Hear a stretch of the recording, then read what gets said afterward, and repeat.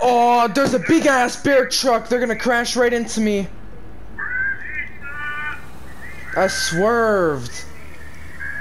How you like still? Dude.